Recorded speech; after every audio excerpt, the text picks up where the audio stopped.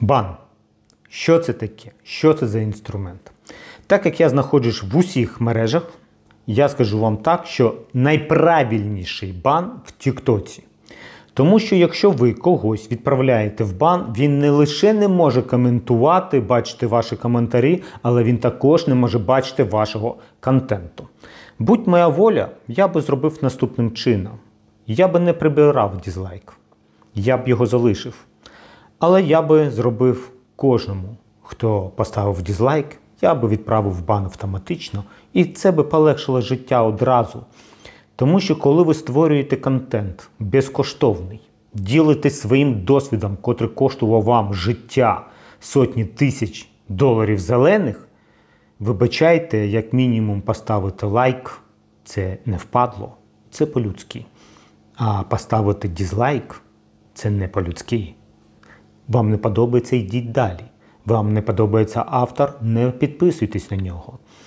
Ні, деякі люди настільки займають низьку позицію в своєму розвитку, що вони можуть вам залишити негативний коментар для того, щоб вас опустити, щоб ви почали зневажати самі себе, щоб ви почали зневажати свій досвід, свою особистість як людини.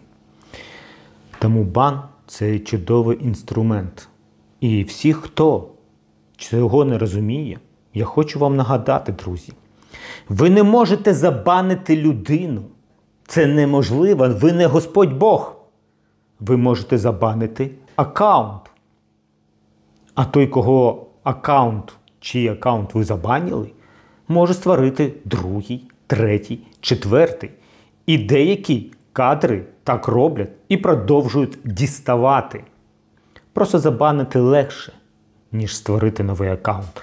Але якщо людина не зрозуміла раз, другий, третій, ви маєте повне право відправити його в бан. Тому що це ваше життя, це ваш час.